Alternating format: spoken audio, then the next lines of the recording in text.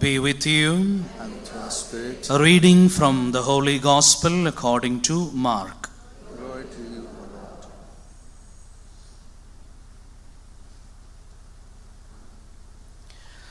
At that time, Jesus left the synagogue and entered the house of Simon and Andrew with James and John. Now, Simon's mother in law lay ill with a fever, and immediately they told him about her. And he came and took her by the hand and lifted her up, and the fever left her, and she began to serve them.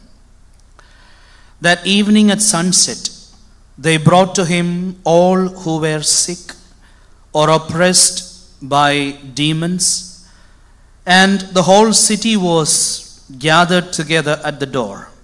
And he healed many who were sick with various diseases and cast out many demons.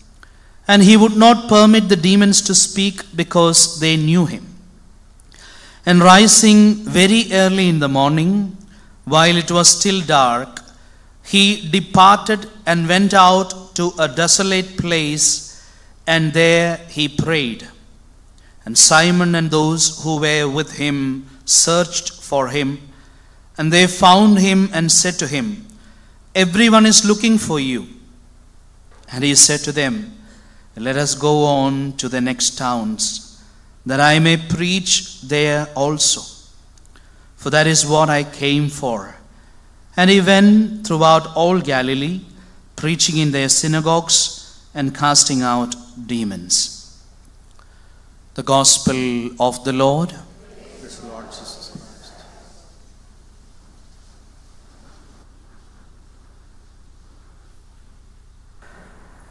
My dear sisters and brothers in Christ, when we were having our catechism classes, maybe I was when I was a teenager, every year we have this course called Intensive Bible Course. So we have a curriculum to follow. So it's just like any school academic levels. There is year one, year two, year three. You have to do- do 12 years of your catechism. Higher secondary, we call it 12 years of catechism. Recently, not before last Sunday, Sunday after 26th of January, my nephew finished his 12th grade in catechism. And after the exam, before the exam, he called me for prayers. And after the exam, he called me. And the only thing he did was a great sigh. it's over, you know. So I asked him, What happened to you? No, uh, he calls me uncle. No, uncle, it is uh, oh, finished. It's over. No more to go back there. So, um, 12 years of catechism, and every year we have three days of intensive Bible course. And in this intensive Bible course, what they do every year they take a theme from the Bible, and they have games and they have uh, different kinds of activities regarding it according to the age group. So when I was in the high school during 7, 8 and 9, and 8, 9 and 10, there was a competition as part of this. Take a story from the Bible and then put it into your word. You, you say the story in your word. So I took the story of the Good Samaritan. Good Samaritan story, and uh, instead of the Levite, the priest, I put the name of the assistant parish priest, and I put the name of um, uh, name of our sacristan. So I made that story like that. But some other friend, one of my friend, he took this story of the mother-in-law of Simon and Andrew. He enumerated in such a way that he at the end told Jesus was so selfish. The story goes like this. After healing a person in the synagogue, the previous story is that he, he heals uh, he heals at Gennesaret, yes, a man with an unclean spirit. He healed, and after that he had to walk long to reach the house of Simeon, Simon. By the time he reached home, he was so hungry. He wanted to eat something. Not just him, another 12 with him. So Simon took him home thinking that food is ready. But when he got home, he knew the mother in law is ill. So Jesus said, Okay, Simon's wife is there, Andrew's wife is there, let them cook. Simon and Andrew looked face to face. Jesus, that is risky. Because their cooking will never match the cooking of my mother in law. You should taste her cooking. Jesus had no other way. So Jesus went to her. What happened? I'm feverish, I can't stand. Jesus said, Come, get up, cook for us. She got up, cooked. She, fever left her because Jesus was hungry. Praise the Lord. That was the end of the story. Making Jesus a selfish person and healing because, and I was I was really having that doubt from that moment onwards. If that was the case, why didn't Jesus eat from outside or cook something?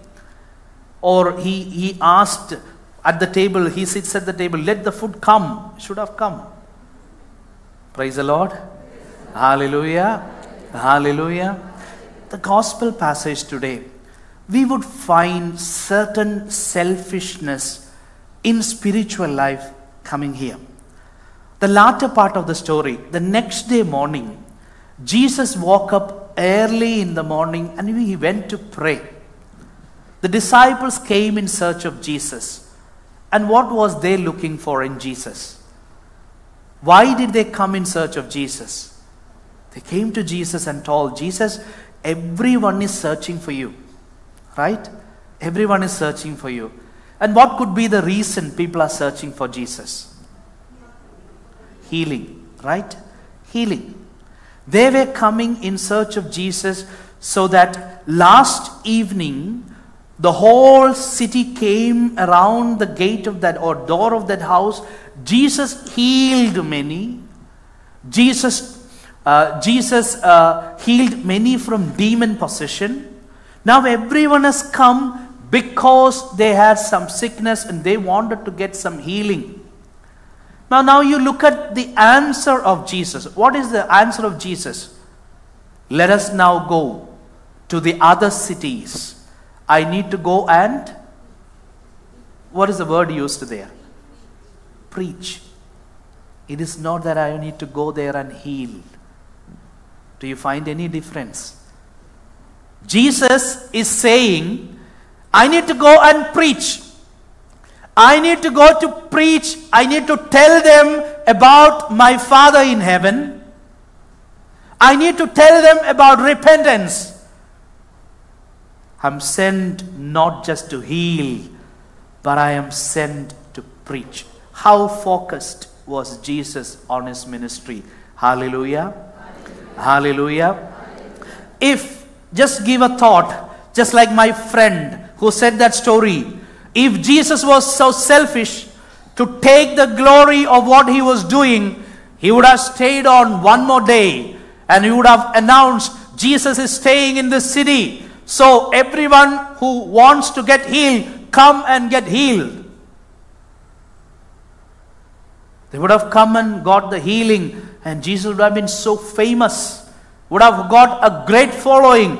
But that was not his intention. He knew why he was sent. He was sent to lead the people to repentance, the right way, to show them the right path.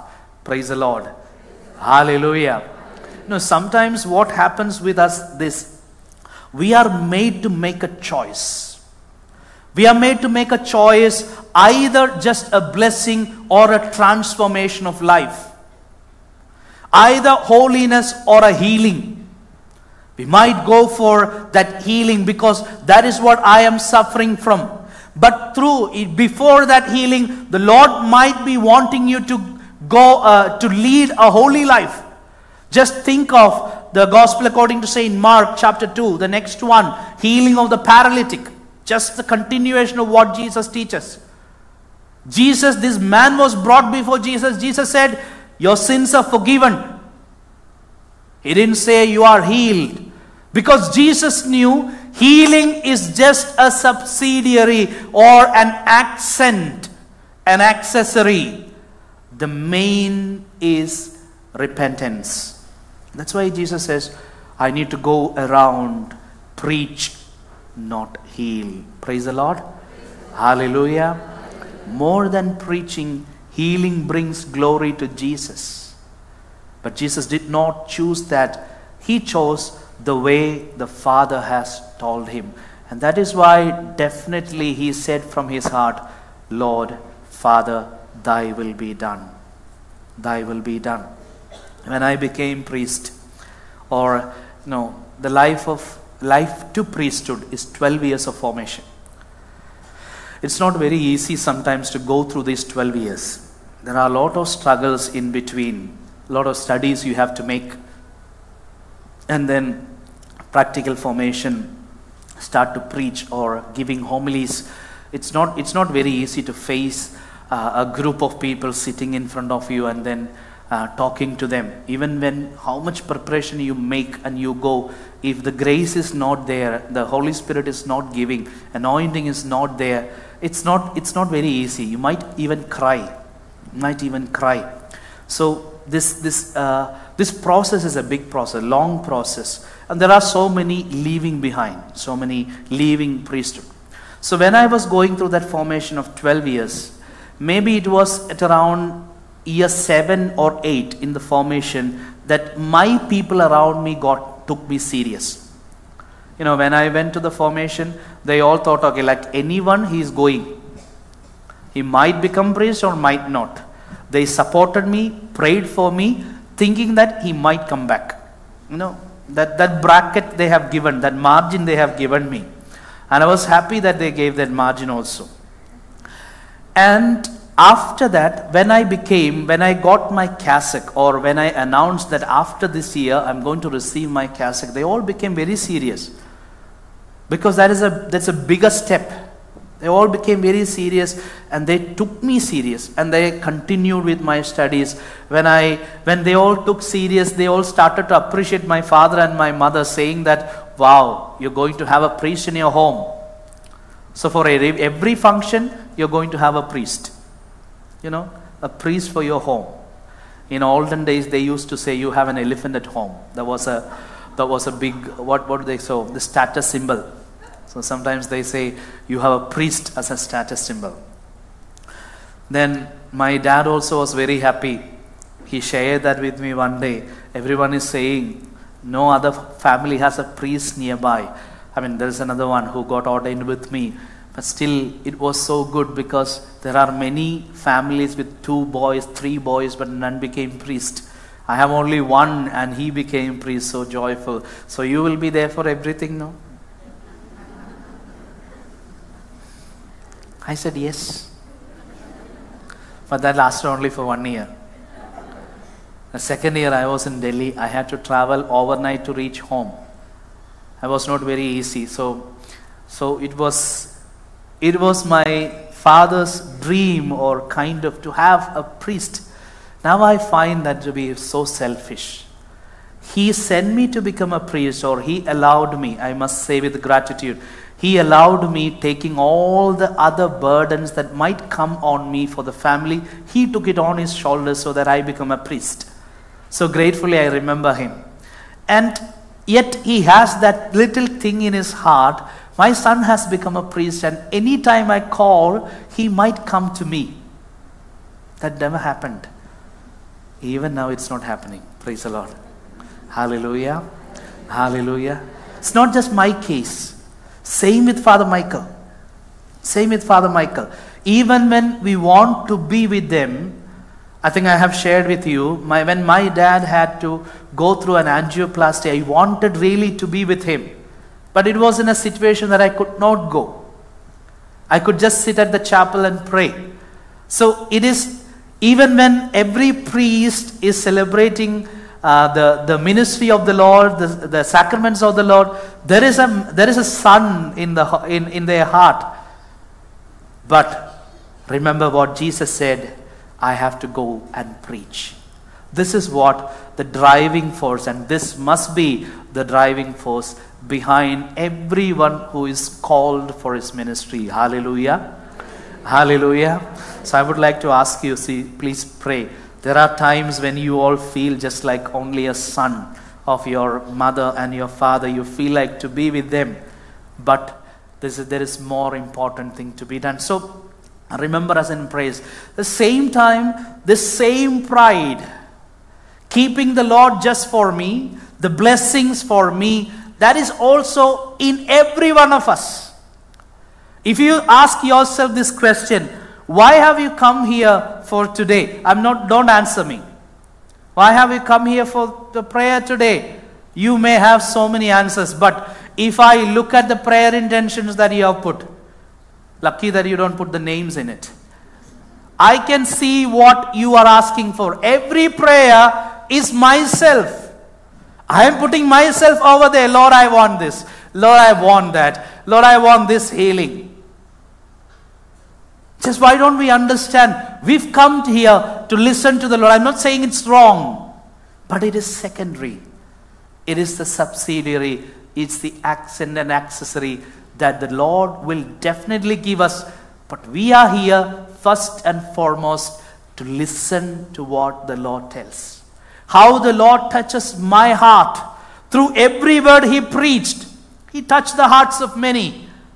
The Lord is touching me in my heart transforming my life. It's not just healing my life, He is transforming life. Or, in other words, He is making me a proper child of God. Praise the Lord. Every time I come into the presence of the Lord, the Lord is making me. He is transferring His likeness upon me and making me a good child of God who would forgive others, who would love others, who would, who would talk sweet words to others. But at the same time, what I want, I want to be the same person. I don't want to change. All I want, all what I want is, Lord, grant me what I pray for. That's all I need. But the Lord clearly teaches us that is just part of your selfishness. Hallelujah. Hallelujah. Hallelujah. Hallelujah. Hallelujah. Hallelujah. All the what, all what the Lord says. The rest of it, I'll give you. Don't worry. I'll give you.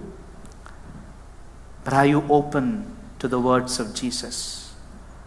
Are you ready to change your life, mold your life according to what Jesus tells you? So that is what we all want to ask the Lord. And today we are celebrating the feast of Our Lady of Lanka. How Mother Mary, even when she had to go through all sufferings, everything, she had to go through pain, suffering, sorrow, brokenness in human terms. She never questioned.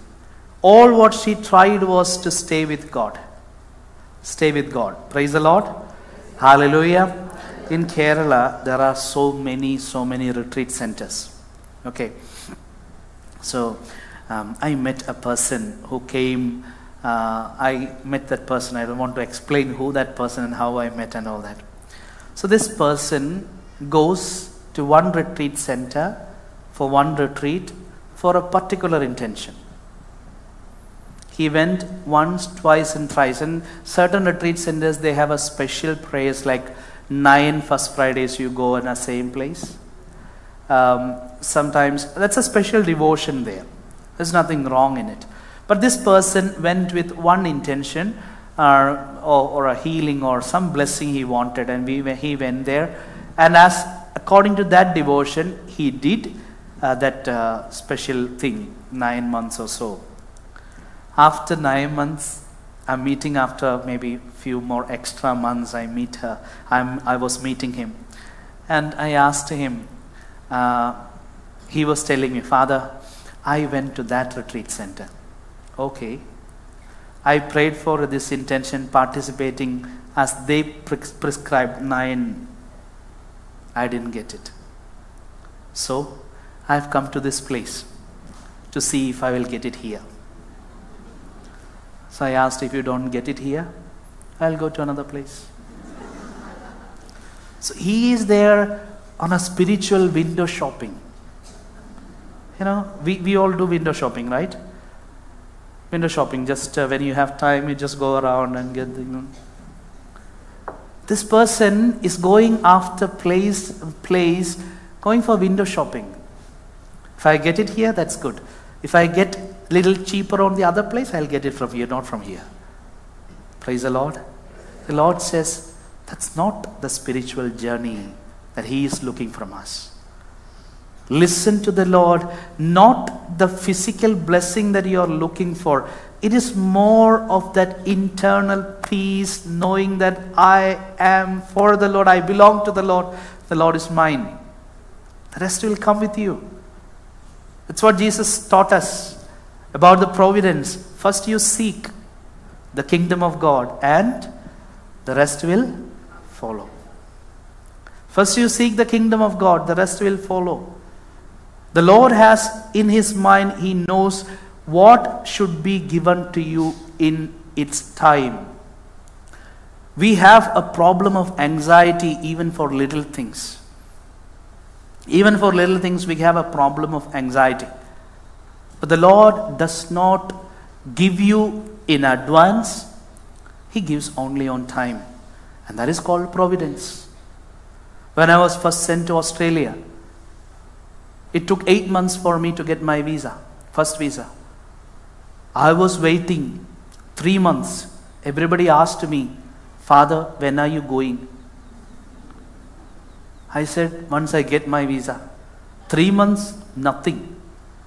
So the next three months, the question was, Are you not going? You know, when that question, those questions come, it's just like a little stress on you. Three months, it didn't come. So six months is already over. The seventh month onwards, they are saying, It looks like God does not want you there. I just hid myself from them all because I didn't want to face those questions. But on the eighth month, that was around uh, January, I got my visa. I re- reached there February, and I am applying for a continued visa, longer visa. And the first sentence or the first qualification for that proper longer long-term visa was you should have completed your profession or you should have completed in your trade three years. You should have experience of three years. I didn't believe myself. No one believed. It was only on 1st of January 2015 I completed three years as a priest. I applied for my visa in 2014 June. Didn't get my visa. Got my visa only after 15th of January 2015. I reached there. First, first thing, I have to have three years of experience. I was ordained 1st January 2012, 1st January 2015, three years. Then I am there. I could easily apply. Otherwise, not qualified for that visa. Praise the Lord. So when I read that, I looked at that and I looked up there. Yes, He knows better than me. All what I need is to seek His kingdom and He will provide everything for you. So today, the Lord is teaching us the spiritual pride and selfishness. I want it from you, O Lord, in my time as I wish, as I would pray for. Let us keep that aside. And we keep our heart open to the Lord, saying, Lord, I am ready to do what you are asking of me. I'm ready to listen. I'm ready to change. And I know and I believe, I proclaim everything that I need, you will give me in time of my need, not as a human person would think, but as a child of good would think. Praise the Lord. Hallelujah. We ask the intercession of our Blessed Mother. All cares and anxieties that is there in our heart for our prayers are not answered, or when our prayers are not given in human time, the time that we think, we shall pray, Lord, give me the grace to trust in you and believe and proclaim that you would give me in your time, and that would be the best time for me because you have a plan for my future, for my upbuilding, for my well, for my well-being, not for my destruction. I pray. Mother, intercede and pray for us. Hail Mary.